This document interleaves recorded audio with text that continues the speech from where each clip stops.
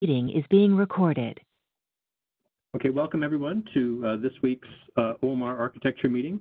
Um, today we have uh, two topics, uh, one a compiler topic and one um, broader to the, uh, the, the, the, uh, project itself. Um, so the first one today is issue 4515, sorry, 4519 um, from Dibyendu. So he's on the line and he's going to take us through that. So please take it away, Dibyendu.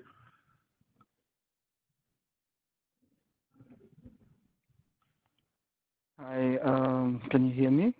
Yep.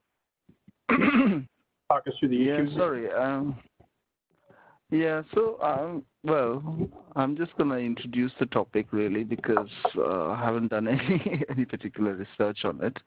Yeah, no problem. Um, just wanted to, so basically, um, as you know, I've got my own project which is uh, based on OMR which is a cut down version of OMR. And so I've noticed that obviously I've got to replicate the list of opcodes that OMR has. Mm-hmm. And so maintaining that is a problem because obviously if the opcodes change, then I've got to update my list as well and make sure every time I sync changes, I have to compare the opcodes to make sure that uh, there's no discrepancy.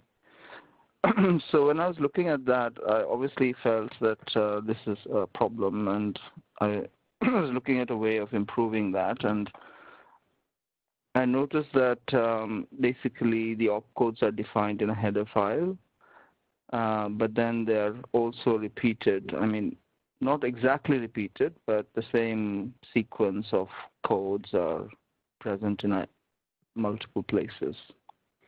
And mm-hmm. there's a common way of handling this in many projects. Uh, I think one of them was mentioned uh, in the issue as well. Mozilla, I think. Uh, mm-hmm. Firefox was it? I can't remember, but but basically, um, instead of uh, defining the opcodes in in a header file, in the header file we, we can just define um, kind of a uh, a macro invocation so you know it can be anything but uh, some all the various places where we need these opcodes and the associated parameters we just put in a single header file. Um, but we don't define the macro there. We simply invoke the macro for each uh, opcode passing all the various parameters we need. And then uh, everywhere we want to use these opcodes, we define the macro to expand what we need. So, you know, for example, if there were all total, let's say we need 10 fields, then each of these 10 fields would be passed in the macro invocation. But then if the if the location where you, like for example, if I need, just need the opcode, I don't need anything else, then I would define the macro where I'm, I need it, and I'd expand it to just the opcode. And so therefore, everywhere you just define the macro locally where you want to use it. Uh, and so the expansion is in your control in the location you want it, but you're guaranteed that it's the same list everywhere in the same order.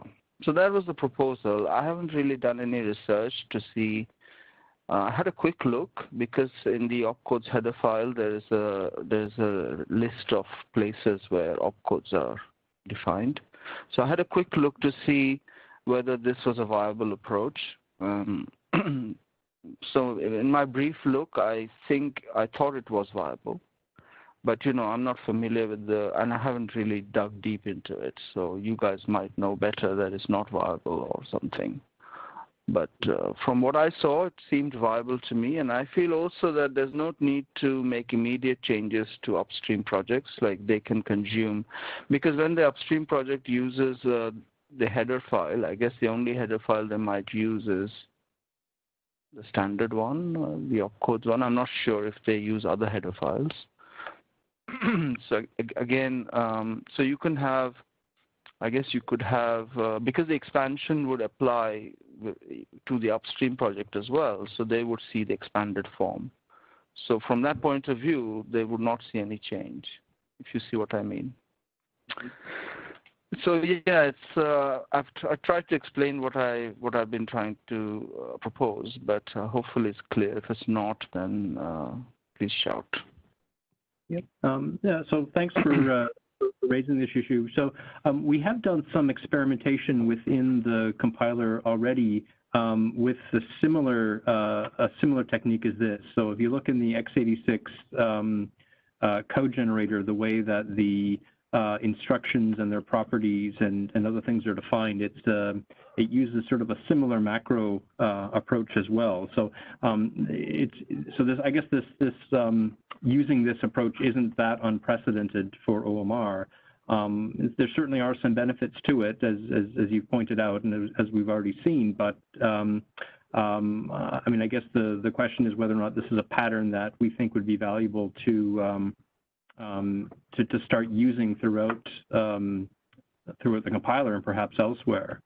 Um, the one little um, wrinkle in some of this as well is the way that um, we have to, um, so the way that some of these opcodes are being used in, in projects, it, the, the, the table that actually gets synthesized is actually uh, amalgamated from multiple um, like a contribution from OMR and a contribution from a downstream project like like OpenJ9, for example, and then we put those two bits of information together into the same table.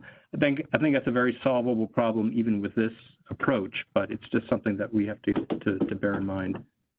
Um, are there any opinions on this pattern as a as a as a way of representing some of the data, the tabular data that we have? Just looking around here. It's a pretty standard one. We use that technique for helpers, right? Yeah. The set val macro is, I mean, we have to do something about this opcode table because I'm getting heartily sick of it um, being linked across projects the way that it is. It's, it's a complete pain in the rear. I think this also gives us an opportunity to consolidate everything in one place. For example, Mhm. VP functions, which should get called for a particular opcode, can be put into this macro table. I don't think they should go there. I, I think that I, I really don't think that the opcode, like, the properties of the opcodes, yes. The handlers for any particular opcode need, may need to vary depending on um, the project, right? You, you may want to change it.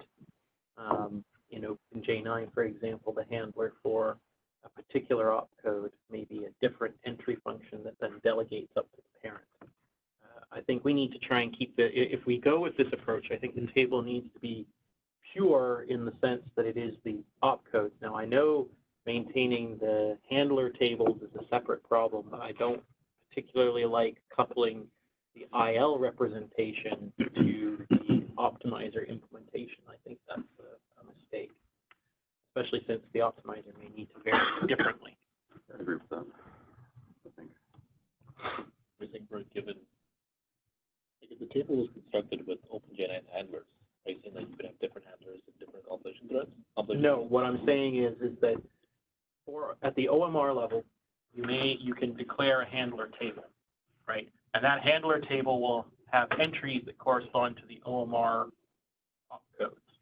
Now, whether we have extensible opcodes or not, I'm going to leave that aside. But when OpenJ9 consumes OMR, they may have additional semantics or additional things that they wish to do when they process a particular opcode. Call, for example, would be a good example. But wouldn't you just override the function? Extensible classes, It and depends. then do what- whatever you want underneath the hood? it depends which, it depends what model of extension you're going to use for that. Um, it's a bit unusual to couple the processor functions into the into the macros for like opcodes, right? It's like you it's like you'd be putting the evaluators or the encoders into the um, x86 opcode table, which is not what the x86 opcode table does, right? There's a function that processes a table entry. And If you have separate entries, doesn't that defeat the purpose of consolidating things? Well, no, so there's, there's, there's two separate, there's two separate problems, right? One is if you're consuming the opcode table itself, right, like and you're trying to keep that in sync, right? That's one problem, right? The other problem is the, the handlers. The two different problems. Well, any table that maps opcode to something, which there are many. I still feel very strongly that, that putting the handler function the macro is not the right yeah. thing to do. I don't think putting the handler function itself into the macro will be the solution. One You way, may be able to synthesize the name of the handler you want. right, so the I could, I could, I could buy something like, Yeah. we synthesize it by doing some token pasting of like the opcode name with the word evaluator, and we regularize the That's function names. It's even better. Hmm. And then you could just have an extensible class with static functions on it or something, and then you could override it. Yeah. If you, or, yeah, or, or a non-extensible class, and you do, they're Yeah. virtual, and you override them using virtual Just inheritance. trying to avoid having to maintain five different tables across Yeah. Right, entire right. But I don't think that we should bake function, like, if you want to derive the table from the macro using the totally fine, macro yeah. name, like the opcode name or whatever the hell you choose to do with it, that I'm fine with. But I don't want people putting function pointers or names of functions to be turned into function pointers into the actual opcode table, right? Like, it's also not very extensible because the more optimizations that you write that need to process all the opcodes, the more you pollute the, the opcode table. You kind of want the IL to be able to stand on its own too, right? You don't want to make the IL dependent on some symbols that the optimizer is creating, right? Yeah, I, I think it's more like what you want, it, like, and the, the, the review process that we would want for, um, changes to those particular files or to that area of the code is almost certainly different than if you were proposing some changes to how the handlers are, are structured, right? And being able to say, if you're doing a commit that touches these files, a certain set of rules or procedures or review has to apply is easier to, not coupled that way. How are the names supposed to work? You put a string in a table, that doesn't, So, can't build anything. uh, but what you would do is you would, you would do, so when you go to define the array of function pointers, you would write the start of the declaration of the array. Immediately, then uh, ahead of that, you would have the, you would do the define of the, the macro. You would include the header so that when with that macro defined, it will expand, and what it would expand to is just the, the name of the opcode, and you can token paste that name with whatever suffix you wish to apply to it. And then you just generate a list of tokens essentially, which become identified um, functions, right? And that's how LLVM does that kind of thing. Right? They use macro token pasting to join. can use TableGen? So parts of it, it's all being rewritten to use TableGen. Parts of it we're using that token pasting approach before. That's because their Yeah, yeah, yeah. their style's gotten a little bit more sophisticated in Yeah. their their model. You know, just on the same problem with these. So- still define, but right? So what you could do is you could define each one with a dummy implementation that does nothing and then override the ones that you actually want to put any logic into. I see. So if there's a new opcode that the table doesn't know about, it will do the, effectively do nothing for this table. Because the iPads would find the, the, right, the, the project that's extending. When you're compiling it, you wouldn't even compile the file with the functions or. Um, I guess it depends on how exactly you want to do it. If you want to do it with the extensible class method, what you would do is you would have a base class that has all of these methods on it with the default blank dummy implementations, and then you would inherit from that and override the ones you want. Whether that's stat, done statically or with virtual methods is sort of an implementation. But you would only override the ones that you want special behavior for. the difference between functions and having. Can I ask, can I ask an example of a handler? What, what class, what file can I see this in? A handler, The- you know, list of handlers that's related to opcodes? VP handlers. Uh, so if you look at value propagation, there's a VP handlers file that contains the implementations, and there's a, a table. I forget which of the VP headers it's in, but It's in the optimizer directory. is, uh, oh, it's an optimizer, okay. yeah. The, the, another example would be the simplifier. The simplifier and the optimizer. So there's a number of things in the optimizer where you want to define behavior per opcode. So you're going to have a handler for each particular opcode that's going to do something. And you're going to uh, implement one of those functions per opcode to do whatever it's supposed to do for that opcode.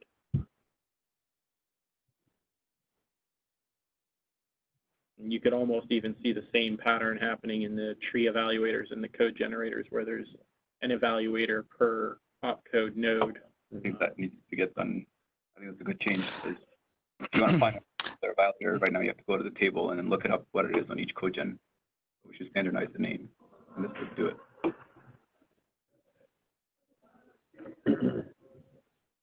Yeah, so I'm just trying, trying to have a look, but um, so there is, I guess there is a implementation for each opcode. Is that what you're saying? Yeah.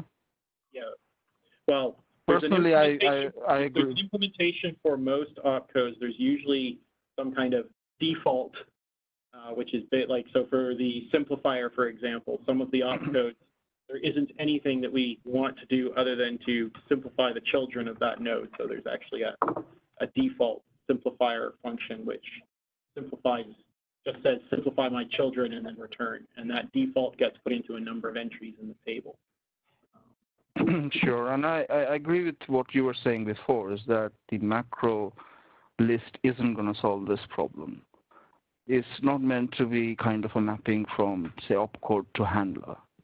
I think that needs to be done by each each uh, place where you want to use the. Right. So yeah, so I agree with, with what you were saying before. I, think it's a means of standardizing how we generate that list of functions. Um, I think the one danger, the one thing we have to be a bit careful of is if you just generate an entry for every single opcode, there may be a non-trivial amount of DLL code growth from all of the dummy functions, right? So if you look at the simplifier, uh, for example, there's a number of places where we just use default simplifier which just says simplify the children and carry on, right? There's nothing special to do for this guy, right? And all of those currently are all represented by one function, not one function for each that just simplifies the children, right? So we may have to think a little bit more about how maybe doing something a little more sophisticated Right. uh, with the macro to avoid having to expand the number of functions to one per opcode. I'm not Yeah. quite sure. Yes. So the way I was seeing it is that I was seeing it more as something where you don't have any impact on the current consumers of these opcodes, which means that they see exactly what they see now. So it's Right. just the controlling. So at the moment you have, I think, six or seven places, right, where where there's a list of these opcode related things, right? And they all have to be in the same order, I guess and they all have to match the opcode list. So what I was proposing is me just to solve that problem without impacting any consumers of those those lists. So you know, if you try to do more than that, then it's going to become more and more complicated. Yeah, so I think the thing is, is to, the, so there's, there's a several dimensions to the pain points uh, related to opcode, to the opcode table. One is OMR chooses to add a new opcode and it adds that opcode to its table and all of the associated optimization tables and so on and so forth. And downstream consumers who have their own tables or their own things that map to those that need to be in that same order get broken because the order is not the same or the length is not the same and you have to make a change to avoid being broken, uh, which is one serious problem. The other problem, though, is that if you go and add an opcode in OMR, at the moment you need to know where all of the OMR tables are that are derived from, that have to match that opcode list. So like you were asking before, and I just said VP and simplifier right off the top of my head. I know, I know you need to go and modify those. Um, it adds an extra burden to adding an opcode, right? Um, it's not obvious that you should go and modify those things.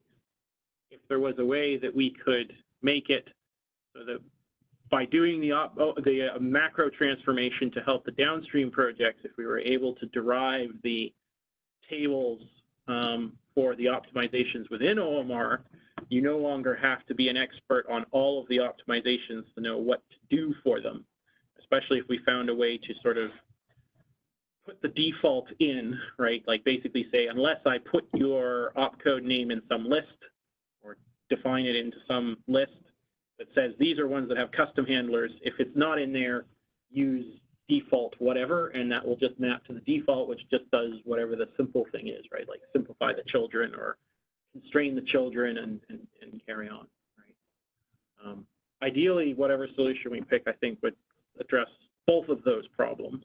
Um, Sure. Right. So, so uh, to take a specific example, I've just been uh, looking at this file called OMR simplifier table enum.hpp, right? And in that table, you've got uh, a list of values against each of the opcodes, like uh, DFT simplifier maps to bad IL op, and then DFT simplifier to a const, and const simplifier to I const, and so on, yeah? So in my proposal, this DFT simplifier would be present as one of the fields in the main header file. And so that would be a parameter to one of the, uh, to the macro, one of the parameters. Or it could be a derived one. Uh, Well, it can't be a derived one because this is like a mapping, right? So it would Yeah, be present I there and it would be expanded here. Yeah, so what I was objecting to was putting that as a thing into the opcode table. Uh, the opcodes should not be coupled to the optimization handlers. The better way to do it is to derive the names of the handlers from the opcode, and you can then do that using macros and token pasting so that you don't have to embed the handlers into the uh, opcode macro. I think the only way that works is if we can encode the default value. But in this case, you know, it's not going to work, right? Because, um, for example, uh, if you're talking about the same table that I'm looking at, then the multiple opcodes map to the same value. And you can't just derive that from any using any logic, can you? So if in a simple so- expansion, we'll not be able to expand it to the right value. So if the handlers are renamed to a regular format where they name the opcode followed by whatever suffix, it is derivable. Um, the only question then is how do you handle the ones that just need to map to a default, which is the thing I haven't sat down and thought about, but Yeah. there may be a way to solve that. I, I think that problem probably requires some more in-depth and further discussion, but I think it should be doable. You can do it with templates. Just You, putting you want to template everything, Leo. In fact, if I gave you a template, you'd template it. So, um, Mark mentioned earlier that opcode table should stand on its own. My question is, why would we want that? Why do we really care? It's just an array.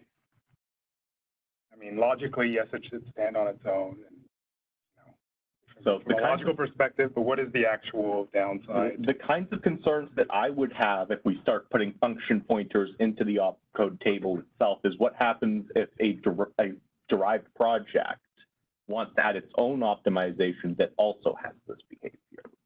They can't modify OMR's opcode table to add a new field for every single opcode. That's Add a new field? As in, mm-hmm. they, new entry in the macro, right? So if you, if you go and say the hand, the, the VP handler for this particular opcode is named whatever, right? And the simplifier handler for this thing is named whatever. If in a derived project, I want to create what Ben was saying of a per opcode handler in an optimization that does not exist in OMR, adding that is practically impossible in that model, right? You'd basically have to pick a naming scheme that matches one of the OMR optimizations and, and use that, right? And it's, Yeah. it's bad form. It would be much better to be able to just standardize the naming so you can derive the name of the handler um, and have a mech- mechanism where we could just default right? So that if you don't specifically say that you're going to handle one, right, through the macroing mechanism, but you're just going to get the default. Um, that's going to require a little bit more thought on how to make that expansion work, but I think it macro the macros are essentially Turing complete almost anyway, so we They're should not. be able to, they're not quite. the templates are. Uh, I think the end, end goal of this, uh, for whatever project, should be that you should be able to add and remove an opcode from the opcode table without affecting any other portion of OMR or any downstream project. Okay, so how would you feel about a solution where, let's say, we just do a kind of a straight token paste and say for a VP handler, um, if you add an opcode, it derives the name of that handler. Um, kind of an intermediate state would be where um, all of a sudden it becomes a symbol that you're using without having ever defined it. Um, so it would be a compilation error, and it's very clear which thing is missing, and you wouldn't necessarily have to implement it in a list and make sure that it's in the same order, but you would still have to implement it manually. Right, so this is kind of an I think we should explore the solution of trying to do the default thing by default without having to define all these things. If we can't get there, then yeah, sure. Compilation failure is not the end of the world. Right. Implement the stub function and call it Yep, a okay. Right. And my, my only concern with the stub function was the, the, the footprint growth of the JIT DLL Right, from yeah. all of those extra stub Yeah. functions that are essentially doing the same thing. I think we need some exploration in the area. Yeah. Prototype something and then see where we get. Yep, fair enough. Um, I'm not sure that the, I, I know, I agree with the two goals that, that you set out there.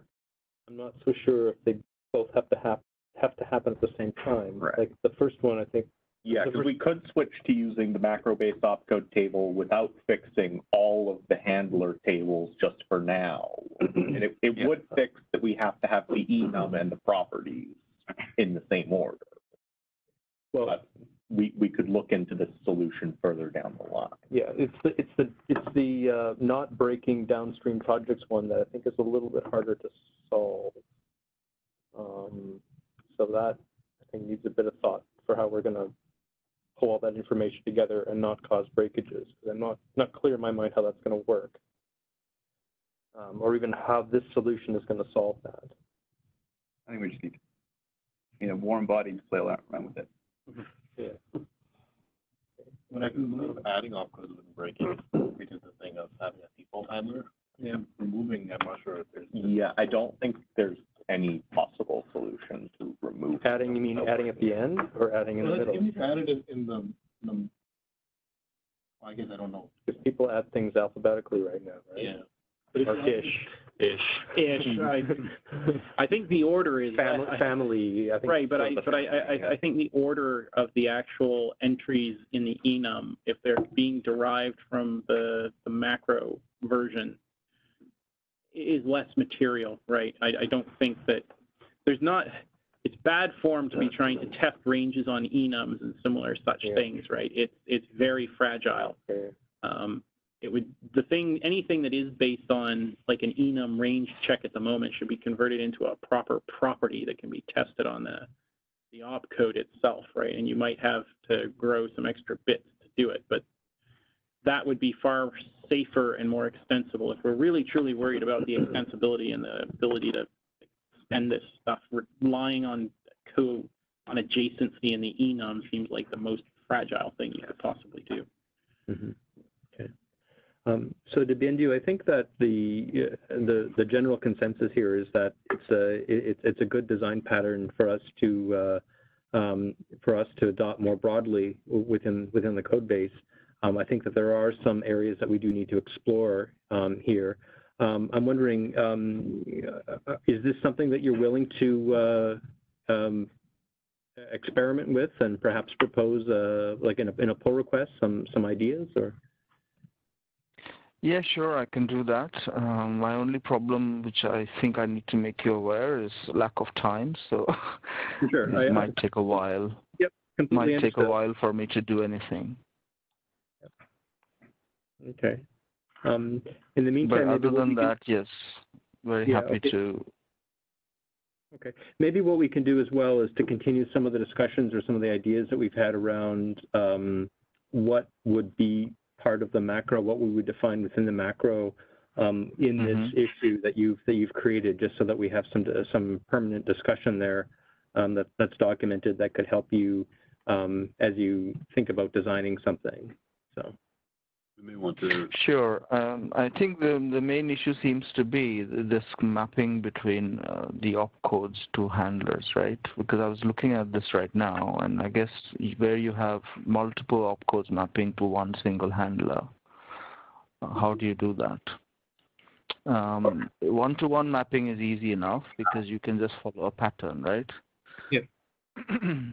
uh, or you could implement it by saying it's always one-to-one mapping, and any and and individually those mappings have to forward. Those handlers have to forward to a common handler if they wish to use a common handler. You could do it that way. The, the concern that I'd expressed about that, which does need to be addressed, It's is code that bloat, right? co- co- you- well, is, is the the size of the binary produced by the compiler because the OpenJ9 project and other projects do care about how big Yeah. the project is when it's built. Um, it's fairly weighty Yeah, as it is. yeah. And, uh, again, Yeah. making it a little bit more overweight is not going to uh, endear us to anybody. Okay. appreciate Yeah, and the other other approach which uh, I was originally yeah, so I was originally thinking of is to just include the name of the handler, obviously, without realizing that it's a handler. Uh, I just saw it as a list. I didn't realize that it was a handler, which is the name of a function or whatever. Uh, But obviously, I originally thought it would be a parameter to the macro. Now that potentially, as I think what you guys are saying is that could cause a problem for, say, OpenJ9, right? Yep, It isn't the preferred design. Not the preferred uh, So, Okay. okay. Um, so yeah, I mean, we completely understand about the the the, the time uh, commitment. We all have um, similar um, um, constraints as well. Um, but uh, um, any progress that, that you can make on here, I'm I'm sure will be. Um, we're happy to review and, and, and move things forward with that. We this is really something that we'd like to see. So that's uh, so thanks for proposing it. Is there any more discussion you want to have in person on this topic before we move on? This last point I was Oh, gonna make sorry. is that we should probably do some archaeology to see if we can find the issues items that, um, that Ali would have opened when he was going through this the last time and creating the opcode table that's there now. Because he may have evaluated some other options as a part of that process, and we should at least recover and understand what thought process he went through if we can. Okay. That might have bearing anyway. It would That's mean we have something to- we'd have to do because it would Yeah, create yeah, yeah, for sure, project. for sure. Okay, yeah, good point, Mark. Thanks. All right, okay, well, um, if there's no dis- more discussion on that, um, let's move on to our next topic. Um, using Clang to format the OMR source, uh, number 4577. So I think Filip's going to take us through um, that issue. Okay, uh, is Robert on the call? Yeah. Excellent. Um, okay, so, um, we're back here a year later. Um, we had a, a short initiative last year, um, to try to introduce some Clang formatting into the code base. Um, it never really made it to production for one reason or another. Um, and here we're trying to resurrect that, that, that, that project. So in 4577, uh, listed um, some background information and a couple of discussion points, which we can talk about uh, during here. I don't expect us to finish all of this or even make any decisions here. Uh, I'm just going to take notes on kind of stuff we discussed, um, and we can have a community um, retrospect after the fact. Um, so uh, the whole idea here is to introduce some automation to uh, format our source code into um, consistent and um, documented style, um, which will be tool checked, um, debatable, um, something we'll have to discuss, and some of the some of the benefits of uh, automatically formatted code. I've listed a couple of projects uh, down at the bottom, uh, case studies. Most notably, Mozilla is going through this right now. Um, Go format, um, the Go language itself has a built-in formatter, which everyone follows. Um, to format pretty much every every um, code base you see in, in, in GitHub. Uh, MongoDB, Chromium, and LLVM all use automated code formatting uh, via Clang. Um, so I've listed some interesting um, blog posts, et cetera, that are found online. Um, the MongoDB one was quite interesting um, because they note some of the pain points uh, which developers had in their transition, but it was overall positive once once it was complete. So um, I guess in, in summary, uh, I wrote a couple things on, on why I think we should um, format our, our code into a consistent style. Um, it's easier to, to write. Um, again, you don't have to worry about code formatting. Um, install a tool in your favorite editor and just format your code as soon as you're done writing it. Um, it's easier to read. The code base is consistent from depending on what uh, component you're working on, whether it's GC or the VM or the compiler or each individual codegen within the compiler. Um, if things are consistent, um, you know exactly what to expect, and you won't be caught off by uh, code formatting inconsistencies between the components you're looking at. Um, it's also easier to maintain. Um, I notice many times when we make our changes, uh, we have our editors configured to eliminate white space or introduce tab spaces, yada yada. Um, we all, some of us format uh, code fi files at, at the same time, so you'll introduce a whole bunch of unneeded white space changes all around your your, your code, um, which is just noise in the PR. Um, we should focus more on the semantics of the PR rather than the stylistic um, aspects of it. And finally, I think most importantly, it's uncontroversial. Um, if we settle on a particular style, um, we never have to argue about code stylus in, in PRs. Um, we can just avoid that. The tool will do it for us, and we can focus on the semantics of the contribution rather than, than style. Um, so there's some of the um, points, I guess, the pros towards it. Of course, this is going to be a pain. It's a controversial subject, a subject for, for some developers. Um, so we need really a community consensus before we uh, head down this path.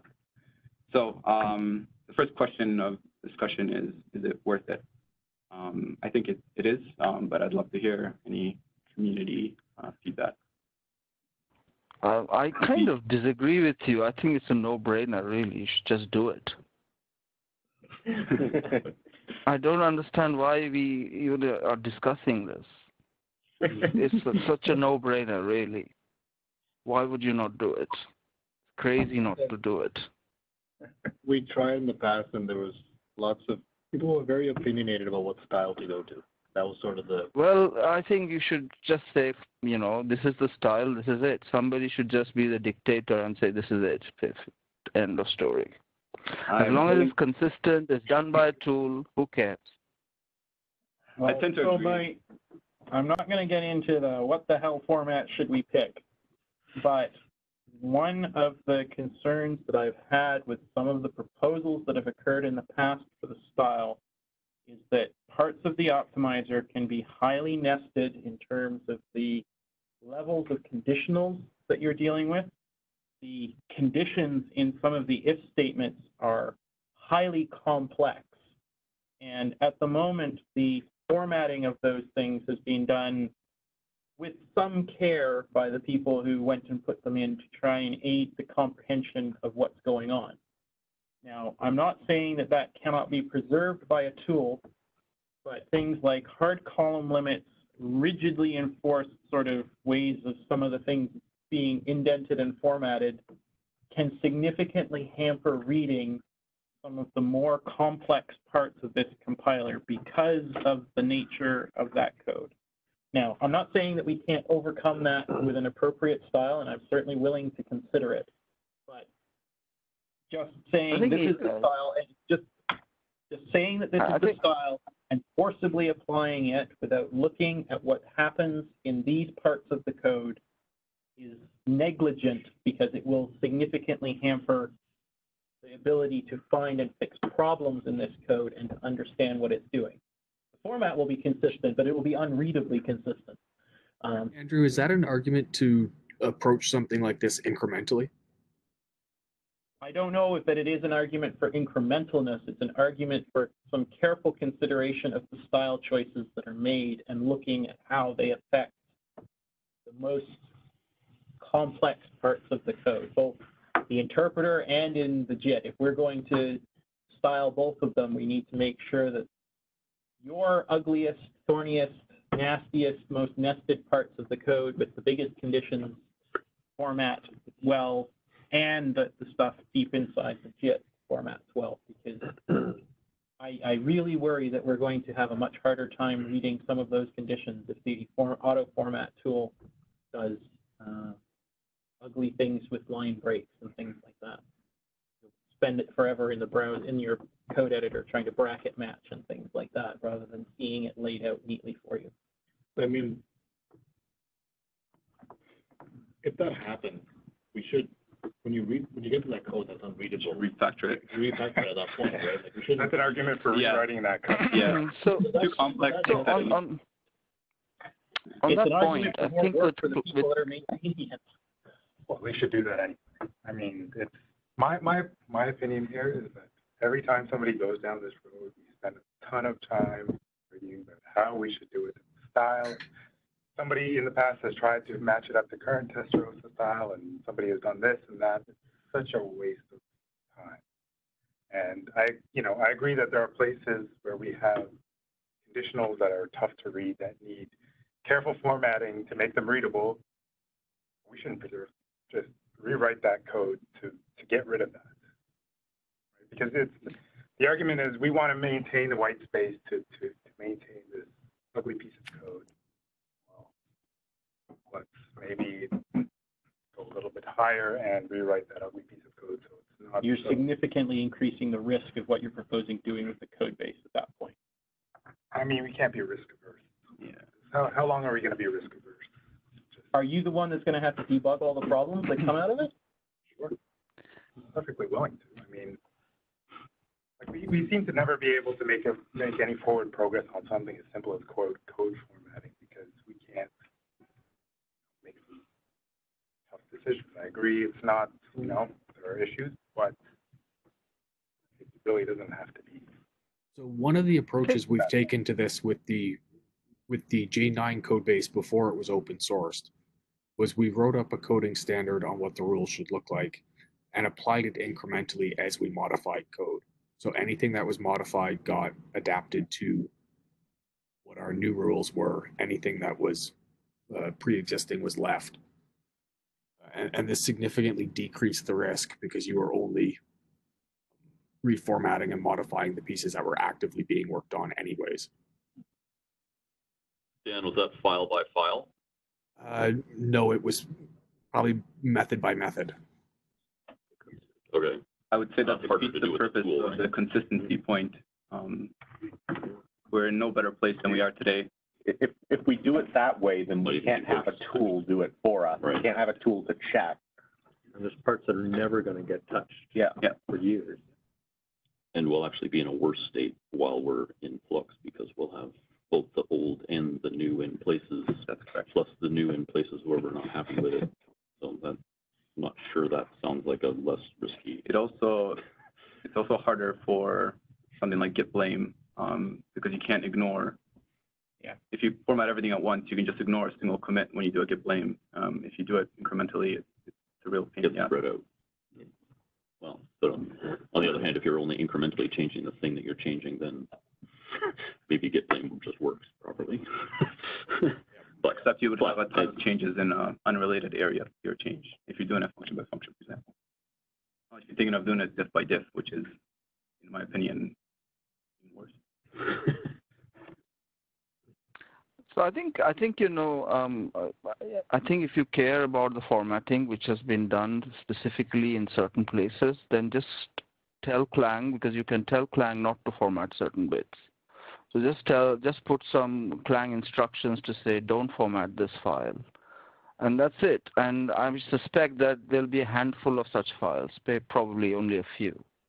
The rest you probably don't care about, right? So it's another discussion point. Um, I guess there is, yeah, as you mentioned, there is a way to turn off Clang, um, but how lenient we should be with that is up to debate. Um, if we start sprinkling Clang format on off all over the code base, then we're kind of defeating the purpose of. No, I'm I'm saying only where somebody says I really have formatted this in a specific way and I care so much about it I can't lose it. Uh, like what, what was being said a short while ago. Only so, only when somebody explicitly says that they want this to be uh, absolutely formatted in this way and no other way, you could start by saying, okay, let's just section this code off, uh, say to Clang, don't touch this code, and that's it. The rest of the code base just gets reformatted. Personally, I think it's a no-brainer. Really, nobody should be manually formatting code. It's it's like I don't know. I mean, it's just crazy. It sounds crazy to me. And if the code requires manual formatting, it just tells me that that code needs to be rewritten, as somebody was saying. Okay. How Um, widely do the tools for this kind of formatting run? Like, does Clang format run on all of the platforms that we currently have developers on? um, it runs on Linux, Mac, and Windows, if that's what you're asking. Um, Runs everywhere. X? Clang. um, does anybody develop on AIX? Does anybody actually commit on AI? Yeah, that's the thing. Yeah. That I'm not sure of. Um, you guys sit closer to the, the main AIX developers than I do. Don't think so. No. Well, uh, if they are, they could just run it by, through a Linux box. Yeah. Yeah, they probably have a laptop. Yeah. Um, Run that on a laptop. Can I make a suggestion, maybe? Sure. Um, maybe controversial still, but can we just do this and then, and then for people who run across a piece of code where the formatting has dramatically made it harder to work with, we consider on a case-by-case basis, putting the Clang unformat, whatever the, the term is, around that piece of code that's affecting somebody who needs to change that piece of code.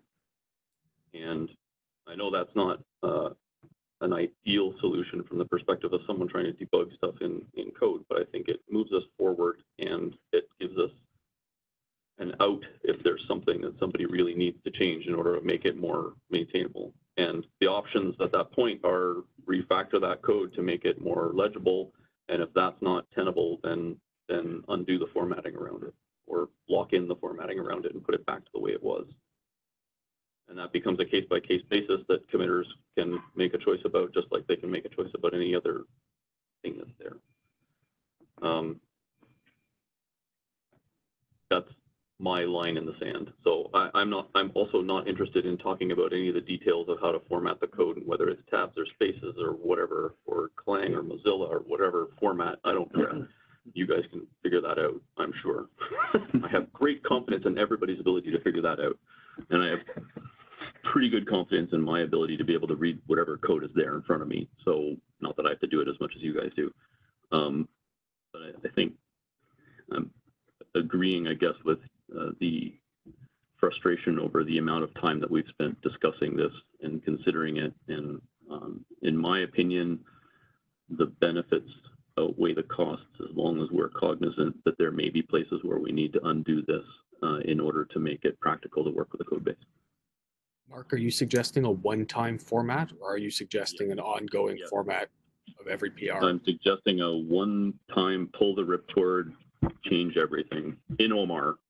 I'm not saying anything about. Having read the open case studies from other projects doing this, one, one time do it is the way to go, Right. is the consensus. It will be way more painful if we do this incrementally, if we're going to use an automatic tool, I think. Yeah. My question is, maybe you know the answer. Um, If I open a pull request and that pull request is accepted and some tool formats it, it's not the same as what I have in my repo, so I wouldn't, like what happens if I re-pull? So as I understand it, what we would want is some sort of check that would try to run the formatter and it would either warn you or prevent you from merging it at all if there were any changes. This is where the automation discussion comes in. Um, do we want to have automation built around this, uh, which is already available in tons of other open source projects? Uh, for example, GitHub Hooks, um, which will guard checking in code which is does not fit the formatting style. Um, it'll just be a like a copyright check failure type job, um, and committers will not merge or change unless it's properly formatted. Um, in my opinion, having automation with the formatting is a necessity. Otherwise, if we don't have automated checking, we're just not going to follow any format and we'll get back to the state we are in today. Quickly. I, I like the idea of a, um, of a pull request check, um, for the formatting, just like in, in, you just said.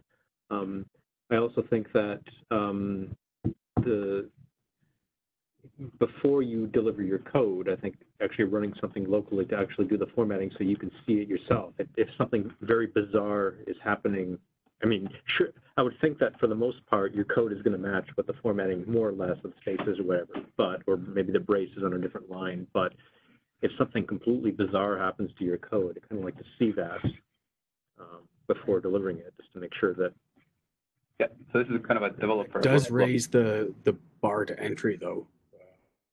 One more activity that anybody who wants to deliver a PR would have to do. It makes it that much harder to contribute because now not only do you have to get OMR set up and building, you have to get I don't think it's that big a barrier. Like lots of open source projects do this. Yep. Um, like there's an expectation in general, if you contribute to a project, you're going to follow their guidelines and whether if you don't follow them, whether that results in like a tool telling you you did something wrong or a committer telling you you did something wrong in a comment, like either way, I don't think it really changes that much. In fact, I would say that it almost reduces the barrier to entry because they, a lot of developers have already used tools like this. So it does there- is it forces you to have those tools set up and enabled. Um, and so people, I think we forget sometimes how much work is involved in getting an environment set up to build these projects. It's not straightforward for your average person. I think Docker largely solves that problem. Um, but I mean, Clang format is not some exotic tool. Um, Yeah, there's it's a- plugins for pretty much every editor anyone Yeah. uses out there. yeah, it's a very common tool. I think the vast majority of people who would want to contribute to OMR would either know how to set up the tool in their environment or already have it set up. With this, you're selecting for that group of people. So Yeah, and I think it's large. If we look at the number of people that contribute to OMR, it, It's no different than LLVM, for example. yeah. Even if you ignore that, already, if we don't have an automated tool for doing it, a committer is going to tell them to do it anyway, and then they're going to have to go back and do it. But to, to could we maybe get a non-IBM perspective uh, on this? I mean, I think most people on the call are IBMers. You already Uh, did it very He did. clearly. But I think, no, I mean, You already did Well, I- no, no, no, I mean, no, no, but what I was specifically asking about is uh, running the extra tool before checking it. Um, Well, as I was saying to me, as I was saying to me, it's a no no brainer really. I mean, I always have Clang format. I mean, all modern tools like Visual Studio or CLion, or I use CLion or Visual Studio or VS Code. They all support Clang format out of the box. And the moment they see a Clang format file, they will format your code by using the Clang format. So I don't see, I mean, to me, it's a no-brainer, really. I don't see why it's a problem. If if people are using VI, maybe I don't know. It's such a pain to tell you the truth. I I've only tried to change, submit a few changes, small changes, uh, as pull requests, and it's been a nightmare trying to get the formatting. Firstly, I don't even understand what the formatting is and secondly, trying to match match it is such a nightmare because your IDE keeps messing it up because it doesn't know about your formatting, how you want it. so it's a nightmare. I'm telling you. Whereas the solution is so simple, just have Clang format there. It does it for you. And you can have uh, something, if you're really concerned, you can have commit hooks or whatever so that every time somebody pushes a change, it automatically reformats it. I think some projects do that. I've not done that personally, but I always use Clang format for all code I'm writing. I, I'm using, and all the IDs I'm using, they always have inbuilt support for it. So I, I've looked into other projects which do formatting um, as a post commit. Uh, so what they would do is they would take your entire PR change and format the merge commit and then create another commit from that. Um, the issue with that is I've found um, is that people complain that um, it introduces Your local repo no longer matches. Yeah, your local repo doesn't match what ends up being pushed out there. So um, when people start merging changes in, it, it becomes really weird. Um, and the things you are reviewing not necessarily match the things that end up being committed. Um, so what about if we had the automated test and we used it as a kind of warning to say that if you accept this PR as is, it's going to get reformatted? Or when you mentioned that Run the Clang format tool and check if the output is the same. If it's not, I then believe fail Clang on that. format Yeah. has a mode to not, run not where, difficult to do as a pull request test. yeah, but I think like Clang format even supports like a mode where if the format doesn't match, it will basically commit a Okay, compil- fine, even easier. compiler error. Even easier, whatever. Yeah. Yeah, I, I don't, I don't buy the over, um, making it harder for people to contribute to OMR either. I mean, the, the alternative to using Clang format, which isn't that hard to get, is read and process and diagnose, uh, gets a fifteen hundred line markdown file that describes our coding standard right now. That's kind of absurd in a way. which I mean, not followed. they're all relatively well justified and all that. So it's not just like there's lots of stuff in there that's not strictly speaking documenting the coding format, but given the the So how much of this is availability- a, a JIT specific problem? Um, not The whole code base needs one style if we're doing this. Yes. We have yeah, we we have multiple styles, but when I'm listening to the complaints about editor problems and trying to understand what the formatting is, given it's inconsistent with everyone else, It applies to both code bases. It I applies to both that. code bases. Sorry, can I finish, Andrew?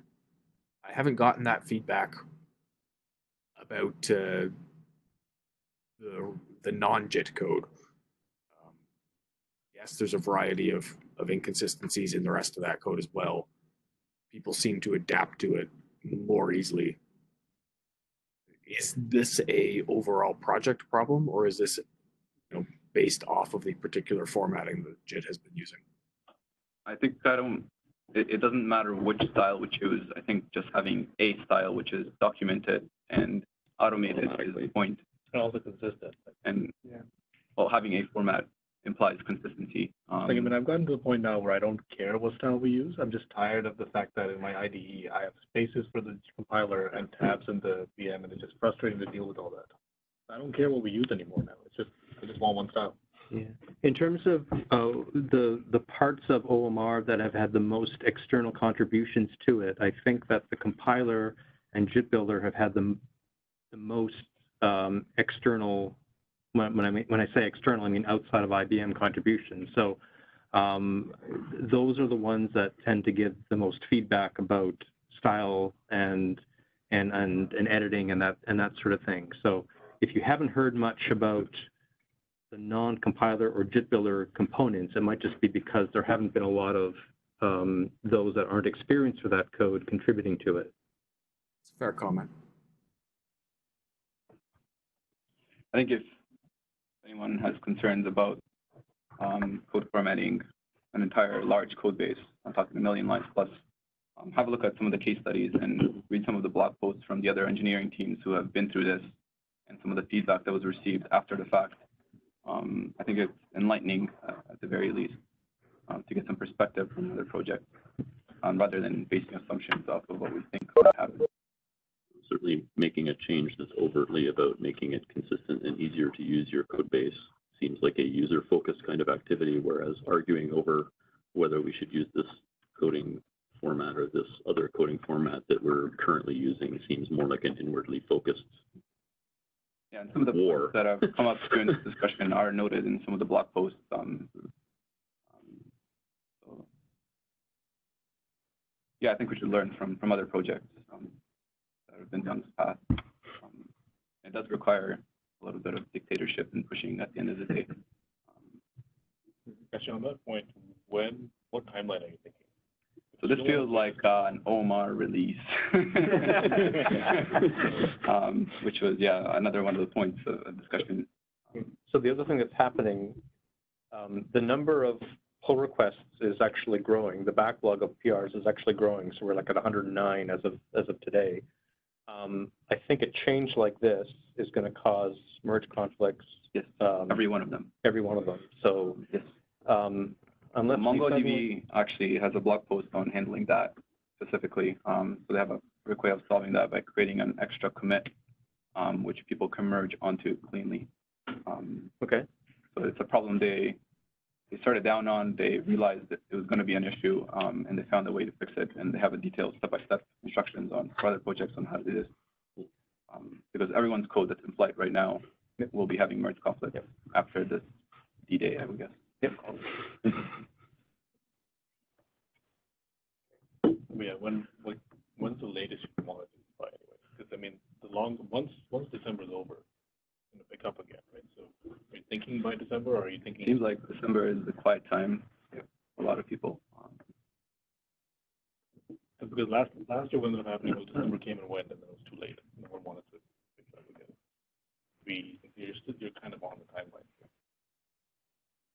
I know people will be willing to, will be more willing to. I would suggest if we're going to pick a date in December, that we respect the, the cut date for OpenJ9's January release, because there'll be a bunch of stuff that people want to merge ahead of that feature complete date, stuff that will go into OMR as part of their contribution. Minimize their pain. When is it? December fifteenth. Fifteen.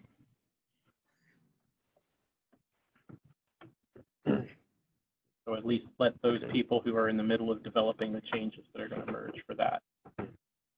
I guess it'll give people, I mean, it'll kind of socialize the change a bit as well, like this is coming kind of thing. Yeah, I think we need to get the automation and everything set up, um, so everything laying cleanly. This also strikes me as the kind of thing we should do an official committer vote on. and Just to get everybody on record having either Yeah. support or not support, whatever, and, and just like get it on record essentially, right? Because this is a, something that will have a broad effect on the project, so. Yeah. We can't decide that here.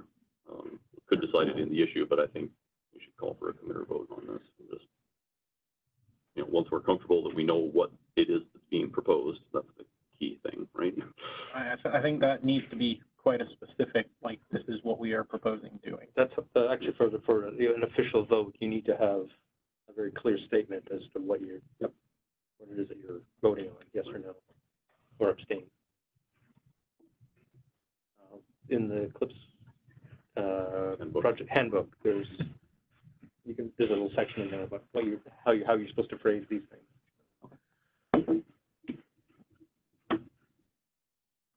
How's this gonna work for downstream projects?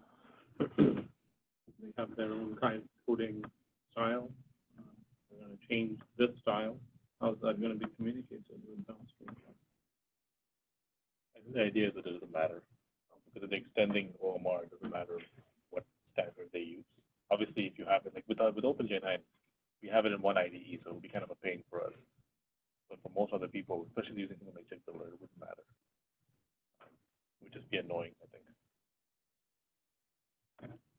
It's already annoying, so. Yes, let's do something annoying. Try to influence or, or, I guess, prove to other projects if this does succeed that it's worthwhile doing. Um, So, for example, the major consumer of OMR, which is OpenJ9, um, it does, it does end up being beneficial, which we think it will. Um, we can try to propose doing a similar formatting. But there will be a period of time where there are formats that's different. That's correct. I mean, OpenGen might be the best idea, especially because it's the same coding standard essentially as OMR right now, more or less. Um, Which is to say two. Clang format is. Semantics, so it doesn't really matter what it is. Yeah.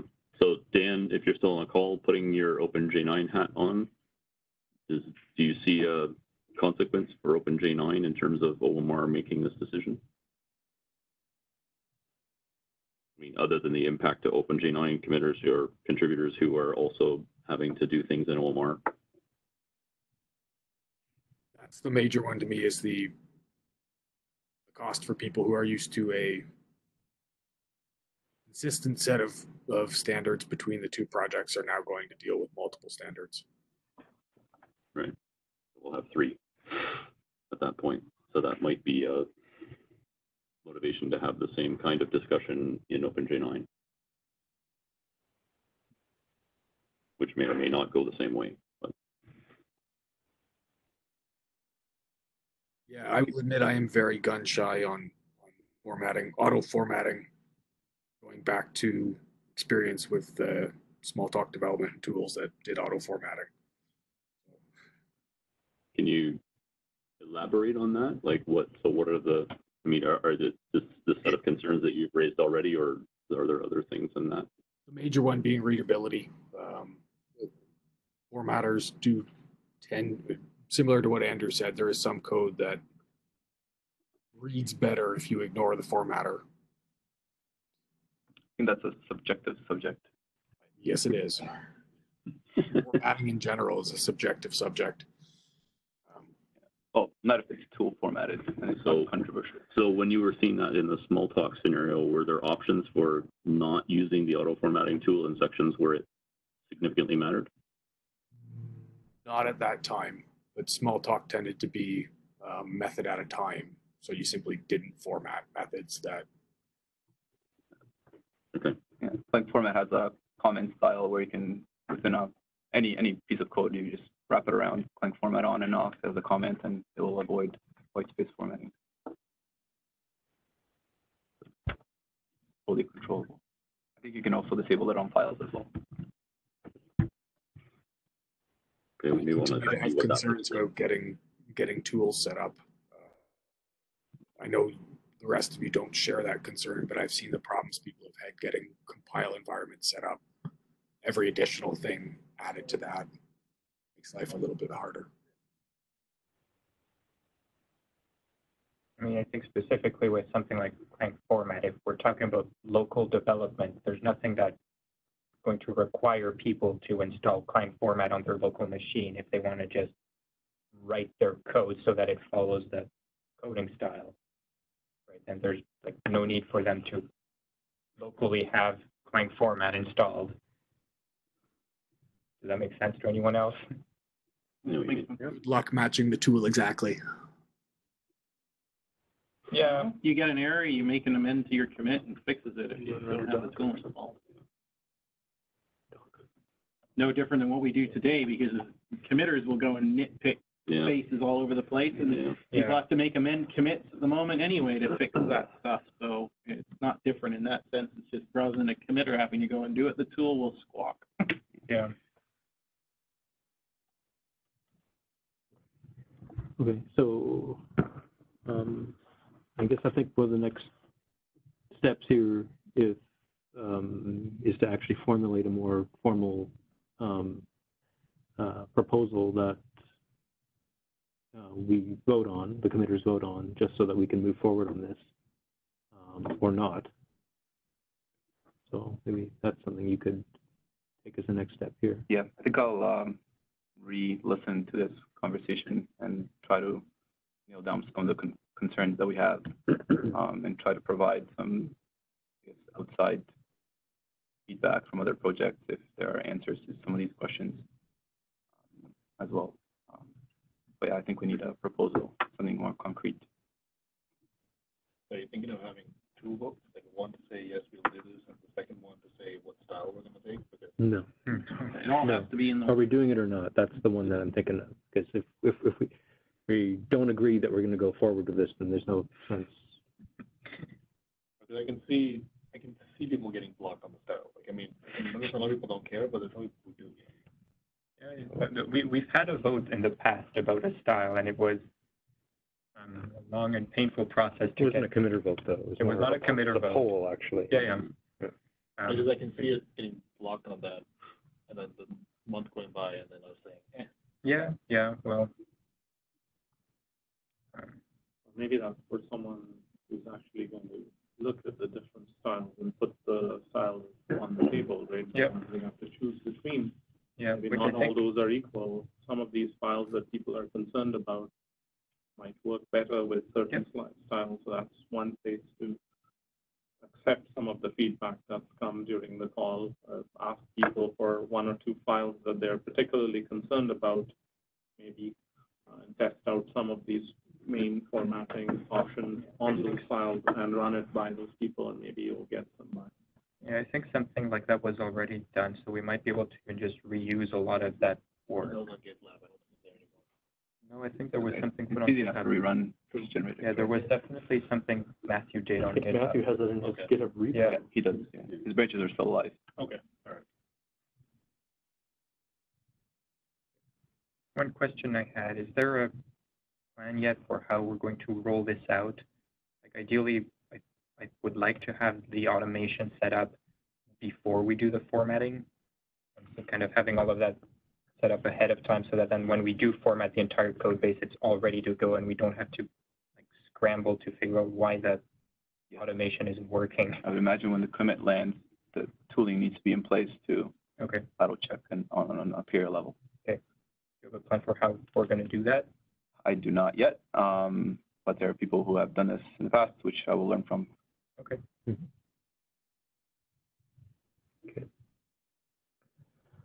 All right, any more discussion today on this topic? No? Okay, um, if not, then we will uh, adjourn today's meeting. So thanks everyone for uh, participating, and uh, we'll talk again in a couple of weeks. Thanks. Bye. Cheers. Bye.